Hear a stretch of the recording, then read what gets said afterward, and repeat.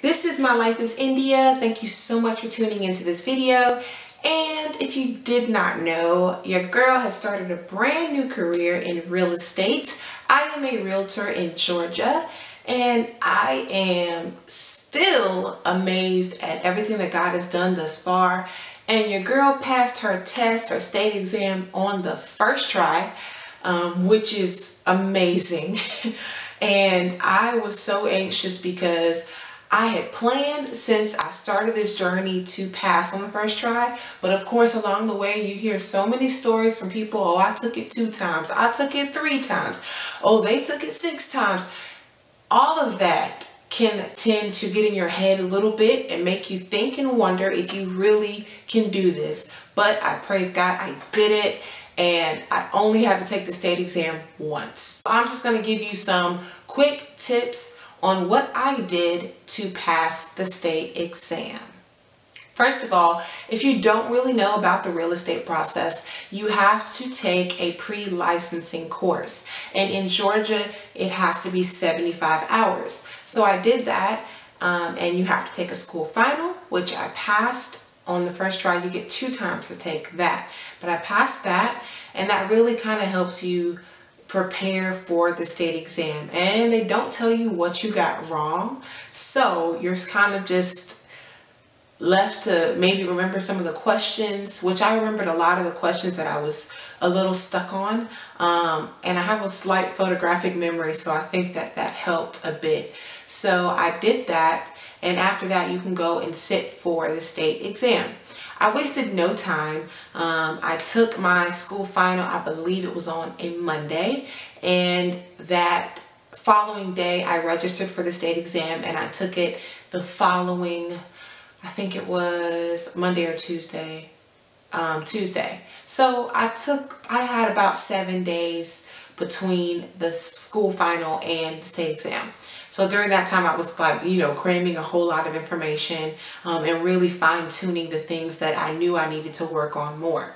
For me, um, I did study groups maybe two or three times, but I learned, especially from this process, that I study better by myself just because I can focus more on what I know I need to work on and I can get a lot done quicker.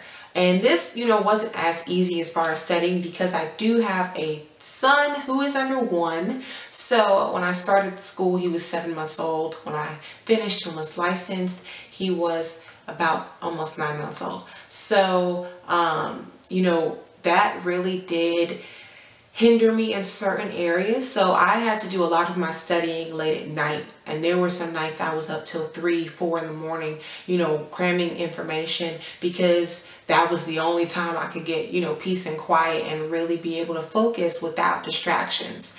So for me, um, besides studying on my own, another thing that really helped me was Prep Agent. He is amazing. He has lots of uh, webinar videos on YouTube and I watched almost every single one of those which really helped me study and, and answer questions and figure out, you know, again, the areas that I needed to work on more. And he also has a website. So I did take the practice test on his website. I took a lot of online practice tests. I didn't pay for any of them because budget, but those really did help me. Uh, I found about three or four websites that did have practice tests on them. Literally just go on Google and type in um, practice test for real estate and you'll see the ones that are free of charge you can take. So that really did help me a lot to see different types of questions and different wording and see what would help me. I also used the um, guide to passing the AMP real estate exam book. Um, that did help me a, a, good bit because some of those questions are a little bit different from the questions in your school final and that school book that you were given. So for me, that worked to use both of those books side by side. I will say though, I did see a number of questions on the state exam that were similar to the um, questions that I had on my school final and school midterm and from the book that I had from school. So that was that's a little bit uh, encouraging knowing that you probably will see questions similar to the ones you had during real estate school. Um, again, prayer was everything for me because to this day I know that God favored me during this whole entire process. Um, I still sometimes don't see how it happened, how I did it, but I did it and I thank God. And I know it is only because of Him who strengthened me because there were some days I didn't know how I was going to do it. Um, even leading up to the night before the exam, I didn't get a good night's sleep. I probably got four hours, if that.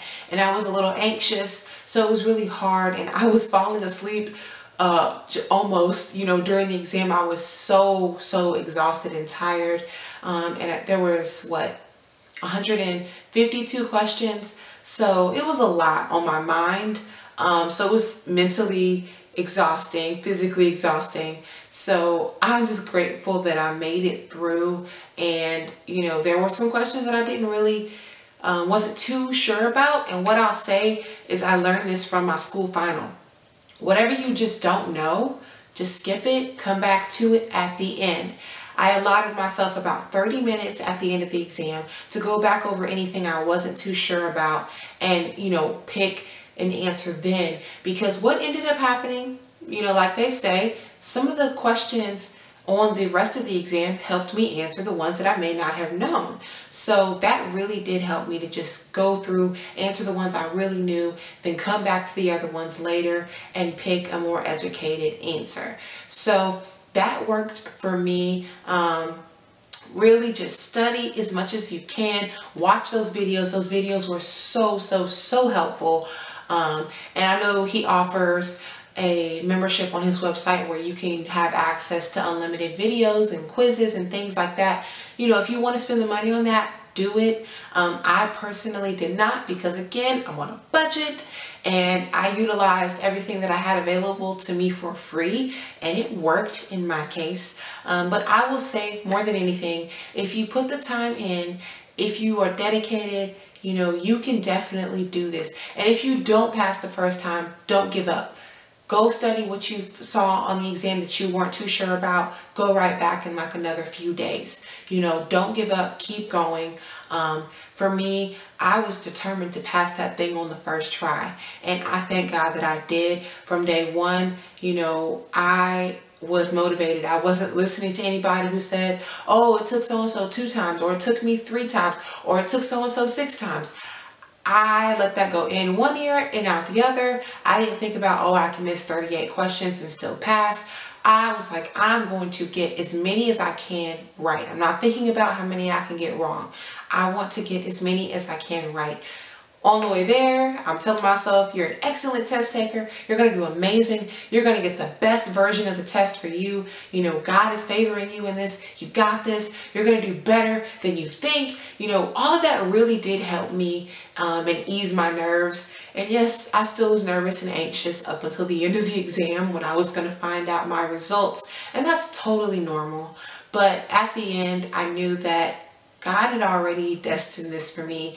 And it was going to happen and it was going to happen in my favor. And I thank God that it did.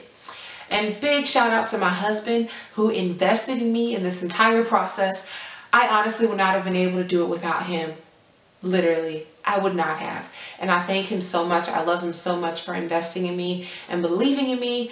And all of you who prayed for me, who sent me encouraging messages, who supported me, I thank you too because just in the nick of time, I got an encouraging message. I felt your prayers. I know you were praying for me. It really helped. I know it did. And I thank you so, so, so much from the bottom of my heart. I am just still overwhelmed. I'm excited to be in this wonderful world of real estate. It has been amazing so far. I'm still learning a lot. I'm moving forward. I am motivated every single day to do something different, to be uncomfortable, you know, and, and talk to new people and network. And it is very exhilarating. And I love this journey that I'm on. And if you are in this journey yourself or you're thinking about it, I encourage you to go for it. Real estate is amazing. It's awesome.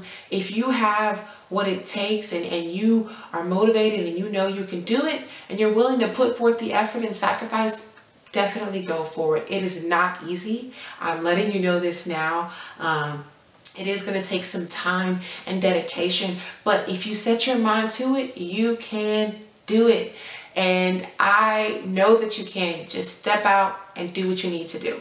So I really hope that this helps. Um, that was just my quick tips, things that people told me and things that helped me as well. Um, I hope that if you were on this journey that you passed your first time as well. I know you can do it. Let me know. I would be so excited to hear your testimonies and all of that. And of course, if you or someone you know lives in the state of Georgia and you or they are looking to buy or sell, please contact me. I would love to assist in the home buying or selling process. You can reach me at india.jonassaint at metrobrokers.com.